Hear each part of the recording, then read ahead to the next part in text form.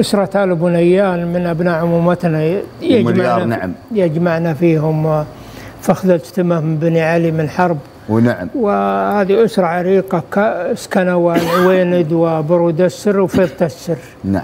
آه، كان منهم الشاعر محمد آه، أبو نيان آه، كان كريم وشجاع وكذلك كان إمام وخطيب آه، مسجد وكان يدرس البزران من أول أيام الكتاتيب الله المستعان. هذه قديمة القصيدة قديمة قديمة مرة هي طلع من البرود بحدود عام 1300 وراح الفيض السر أي. وعاش فيها بقية حياته.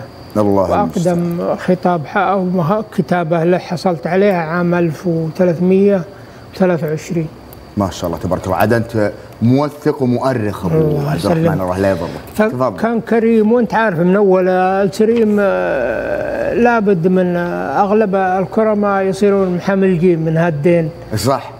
وفقراء أكثر. فقراء إيه، من كثر ما الناس يجونهم. صحيح.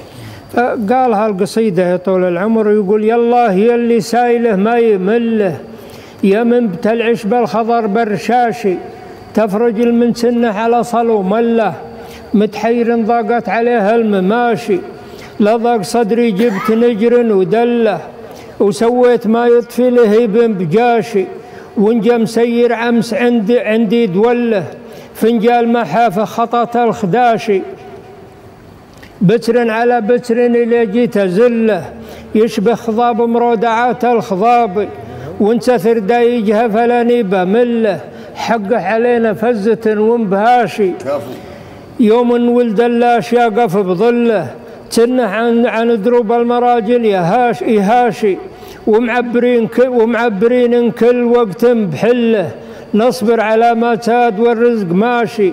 حين هشيب وحين نوزد بجله ومرة نبهرها ومرة بلاشي ونوب بيسر النجم على الكيف كله.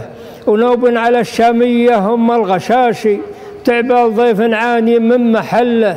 نمشي قصاد ولا نحب نتفاشي الله. الله نمشي. قصاد ولا نحب نتفاشي الله الله المستعان. الله من الدروس بهالقصيدة. الله. وشوف يوم يقول مرة نبهرها. ومرة بلاش ومرة نبلعش ما في إبهار. أيوه مرة ما عنده إلا القهوة سؤال بس أبو نعم. عبد الرحمن. أقول عندي سؤال أبو عبد الرحمن إذا يسمح لي